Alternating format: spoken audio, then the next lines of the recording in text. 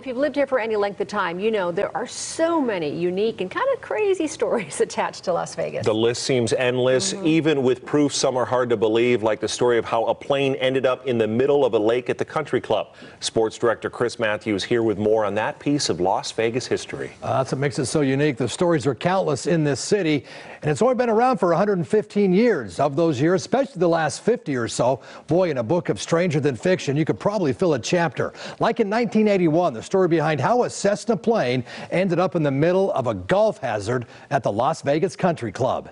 The story probably begins here in the clubhouse dining room, where the city's rich and famous made and cut deals, where mobsters and mafia types also hung out and some golfed. Which brings us to how did this plane in 1981 end up in this water hazard? Well, the FBI was conducting overhead surveillance on alleged mafia activity at the club. Jerry Roberts was working there that day.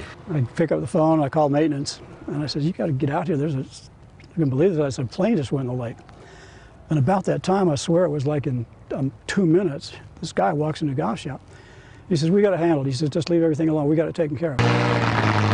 This scene from the movie Casino dramatizing what actually happened. The plane landed, swerved to avoid hitting golfers, and spilled into the water. They had the plane out of here in record time. It's a story just too great not to memorialize. So the owners of the club purchased the exact replica of the original Cessna and placed it in the water, built a plaque, and inscribed the bizarre story with eyewitness accounts, including Jerry's. As the new owners took over, they're like, man, we got to highlight some of this great history that's happened at the course over the years. And so you start trying to go in and pick kind of the more interesting little little stories and tidbits, and this is probably top of the list.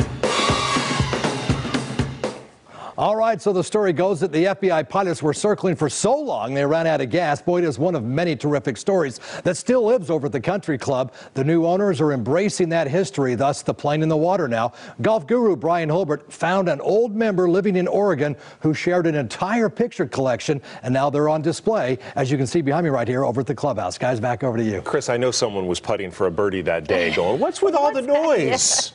Thanks, Chris.